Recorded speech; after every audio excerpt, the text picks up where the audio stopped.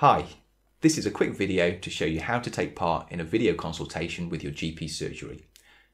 Practices up and down the country are beginning to use video consultations to help them continue to care for people during the coronavirus outbreak.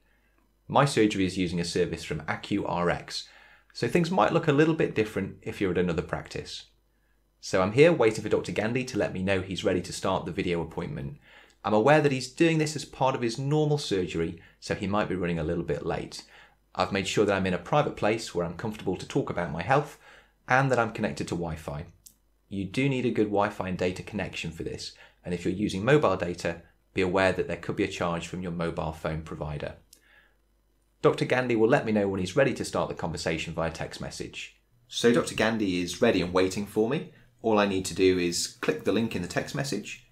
The link takes me directly to the video consultation in my phone's browser. You don't have to have an app installed, and all you need is a smartphone with a camera. You might need to give permission for the browser to use your microphone and camera. It's okay to do this.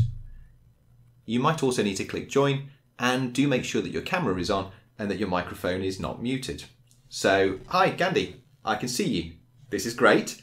Uh, so tell us, how can video consultations be useful?